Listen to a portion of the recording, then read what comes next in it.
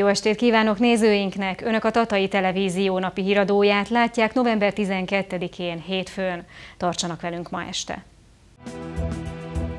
A Magyar Tudomány ünnepe alkalmából előadássorozatot szerveztek a Posztocki Károly Csillagvizsgáló és Múzeum munkatársai. A fenntartható fejlődés globális probléma. Az Ökofaluban szervezett műhely munkát a Természetes Életmód Alapítvány. Lassan 40 éve töretlen a népszerűsége az Öveges József emlékversenynek. Projekttervezésben segíti a közösségeket a Magyari Zoltán Főiskolai Társaság. 1825. november 3-án Széchenyi István birtokainak egy évi jövedelmét ajánlotta fel a Magyar Tudós Társaság megalapítására. Ezt a napot ma már a Magyar Tudomány ünnepeként ismerjük. A Posztocki Károly Csillagvizsgáló és Múzeum minden év novemberében programsorozattal készül. Az idén is érdekes előadásokkal várják az érdeklődőket.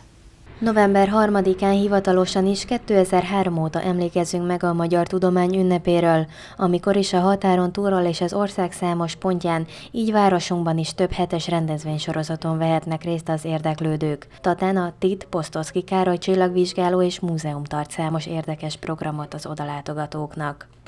A Magyar Tudomány ünnepét minden novemberben itt ünnepeljük meg. A szlogenje határtalan tudomány, és ennek apropójából sikerült megnyerni Ógyar Láról dr. Dorotovics Ivánt, ő egy kutató csillagász, ugye határon túli Ógyanláról érkezett.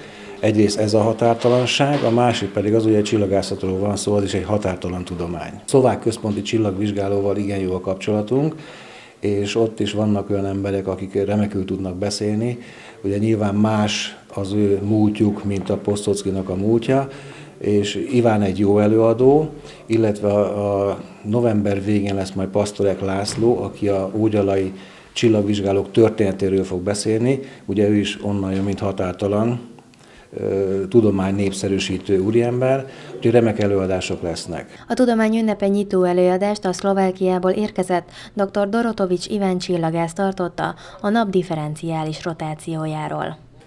Ez, ezt a előadást nap megfigyelésről készítettem erre a témára, és konkrétan a nap differenciális forgásáról fogok beszámolni, ugyanis mivel a nap az gáz égitest, gázból áll, akkor nem mint szilárd test, nem úgy forog, mint szilárd test, hanem az egyenlítőhöz közeli részek gyorsabban forognak, mint a pólusokhoz közeli, így ö, olyan érdekes forgása van a legközelebbi csillagunknak.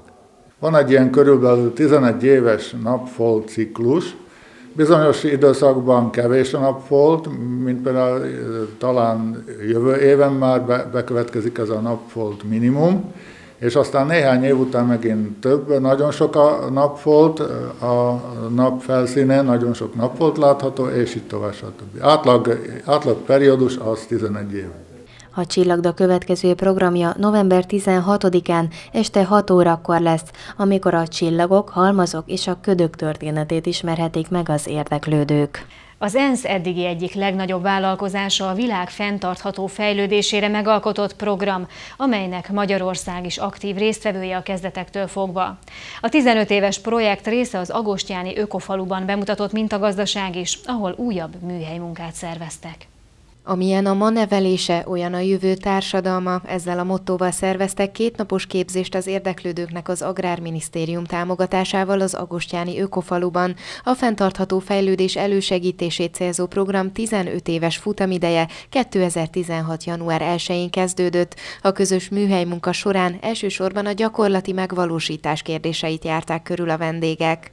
Natura 2000-es területen vagyunk, hogy egyáltalán pedagógusoknak, érdeklődőknek mi dolga van egy Natura 2000-es területtel, és akkor hozzátennénk mindjárt azt, hogy Gerecse Naturpark területen is vagyunk, úgyhogy mindjárt arról is beszélgetünk, hogyha a turisztika szempontjából, a táji helyi értékek szempontjából nézzük a világot, akkor hogyan lehet ezt átadni óvodástól egyetemistáig, vagy egyáltalán a családomnak miért érdeke az, hogy egy helyi táji értéket megszeressen, tisztelje azt és védje azt. Bemutatkozunk, hiszen a helyi táji értékek mellett, ugye itt összegyűjtött az alapítvány 20 év alatt azokat a praktikákat, ami kell ahhoz, hogy valaki vidéki életet éljen.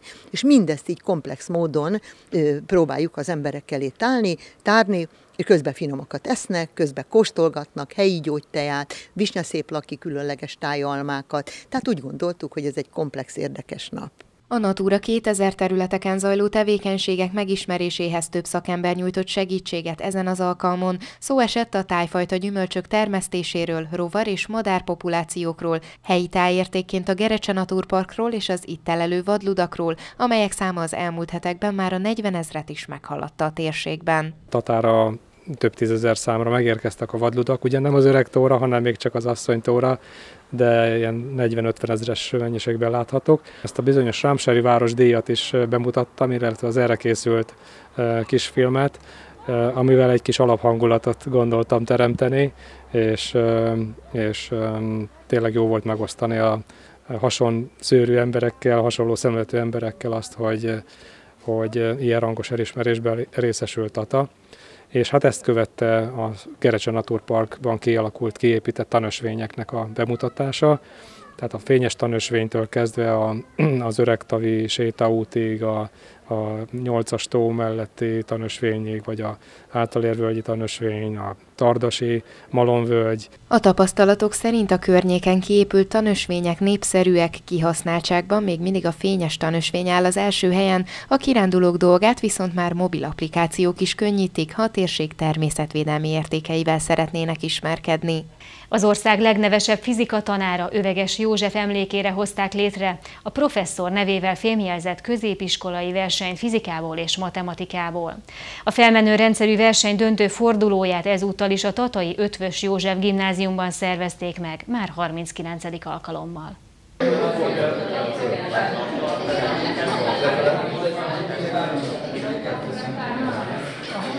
Látványos és szórakoztató kísérletek bemutatásával és kipróbálásával vette kezdetét a 39. Öveges József emlékverseny. A megmérettetésen a fiataloknak matematikából és fizikából is remekül kellett teljesíteniük, hiszen a kiemelkedő eredményt a két egy-egy órás feladatlap összesített pontszáma adta. Különleges versenyről van szó, Egyrészt azért, mert az országban egyedülálló az, hogy 39 éve működik egy, egy ilyen nagy hagyományú matematika-fizika verseny. Másrészt pedig az értékelés szempontjából különleges ez.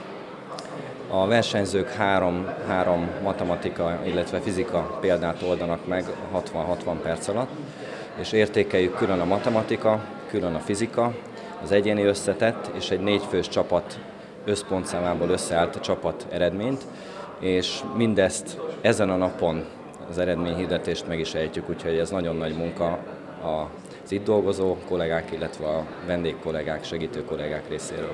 A verseny sikerét egyrészt alátámasztja a hosszú életű érdekeltsége, másrészt nem csupán a tatai fiatalok próbálnak megbirkózni a nehéz feladatokkal, hiszen az ötvösös csapatokon kívül képviseltette magát többek között a Radnóti Miklós Gimnázium, Révai Miklós Gimnázium és az Apácai Csere János Gyakorló Gimnázium is. Mindenféle megmérettetés jó. Ez a fajta meg azért érdekes, mert két tárgyból viszonylag rövid idő alatt, egy-egy óra alatt, tehát 60-60 perc alatt, és olyan problémák adódnak, amelyek élethez közeliek. A fizikát, ha mondjuk, akkor feltétlenül van, amelyekkel nap mint nap találkozhat, a matematikát tekintve pedig nagyon érdekes. Gyakorlatilag úgy lehet rá felkészülni, hogy az ember a korábbi hát ahogy ön is említette, 38 alkalomból válogat ki feladatokat, és akkor ezeket próbálják a gyerekek megcsinálni. A 39. Öveges József emlékversenyen idén 130 diák küzdött meg a két korán sem egyszerű tantárgy feladataival. Projektek megtervezésében segítik a közösségeket a Piarista Rendházban. A Tudásközpontú Város című projekthez kapcsolódóan hamarosan több pályázati felhívás is megjelenik. Hogy az ezekre benyújtott jelentkezés sikeres legyen, egy hat alkalomból álló képzési programban vehetnek részt az érdeklődők. Tudásközpontú város címmel hat alkalmas képzésen vehetnek részt a tatai helyi közösségek. Az intenzív képzésen helyi felhívásokra benyújtható projekttervek elkészítését segítik az érdeklődőknek. Azt a célt szolgálja, hogy a nem sokára megjelenő CLLD felhívásokra felkészítse a tatai civil szervezeteket, intézményeket, illetve az önkormányzati szereplőket, vállalkozásokat. Ez a mai nap arról szól, hogy megnézzük egyáltalán, hogy 2016-os tervezési időszak óta milyen ötletek azok, amelyek megvalósultak, és melyek azok, amelyek majd belekerülhetnek a felhívásokba. Ezek a felhívások várhatóan 2019 elején jelennek meg.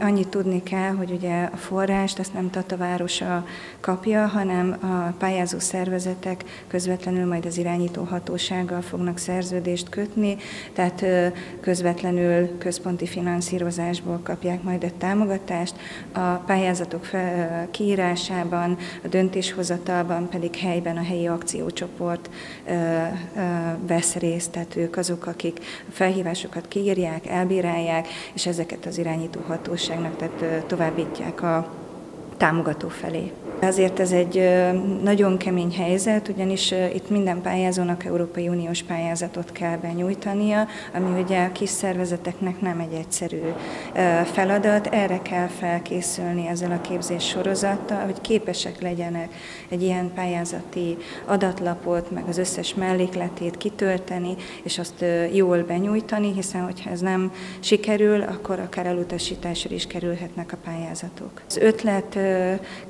készítés, vagy ez az ötlettől a projekti képzés, ez több alkalommal, hat alkalommal kerül megrendezésre.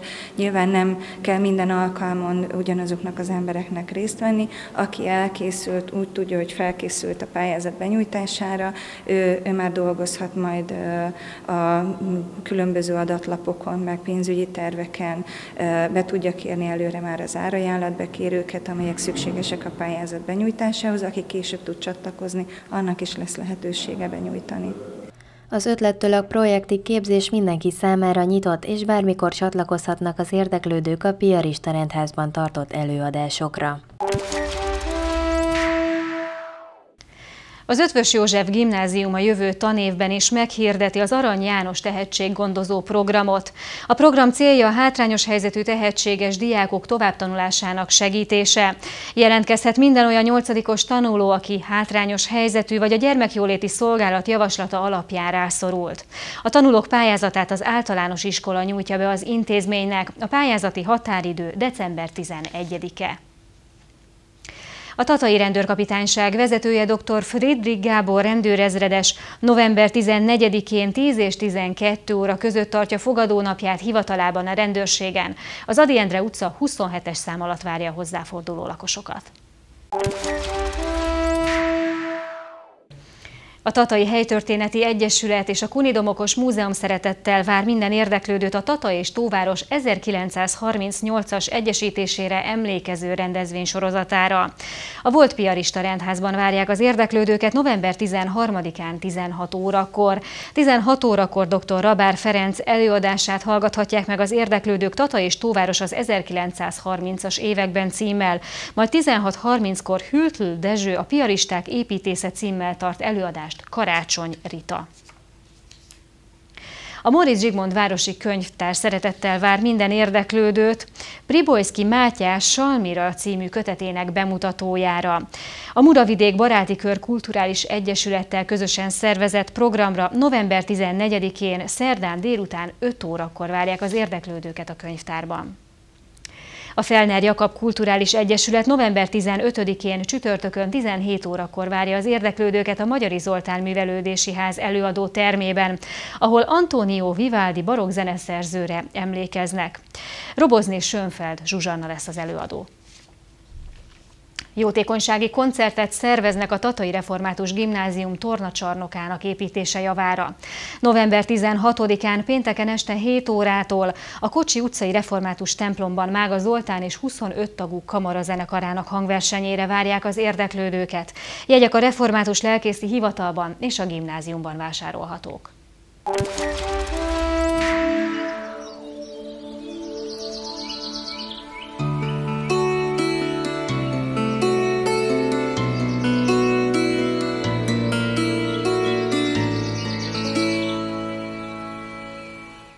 Most pedig következzenek még egyszer mai híreink egy-egy mondatban. A Magyar Tudomány ünnepe alkalmából előadássorozatot szerveztek a Posztocki Károly csillagvizsgáló és múzeum munkatársai. A fenntartható fejlődés globális probléma. Az Ökofaluban szervezett műhelymunkát a Természetes Életmód Alapítvány. Lassan 40 éve töretlen a népszerűsége az Öveges József emlékversenynek. Projekttervezésben segíti a közösségeket a Magyari Zoltán Főiskolai Társaság. November 12-én hétfőn Önök a Tatai Televízió napi híradóját látták. Köszönjük figyelmüket! Maradjanak velünk a folytatásban következik Tallózó című műsorunk, amelyben beszámolunk Önöknek az elmúlt hét legfontosabb eseményeiről. Híradóval legközelebb holnap este jelentkezünk. Én köszönöm még egyszer megtisztelő figyelmüket, további szép estét! Viszontlátásra!